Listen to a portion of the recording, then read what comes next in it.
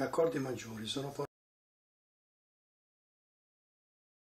per questo gli accordi maggiori si suonano molto spesso con alcune note raddoppiate usando 5 o 6 corde.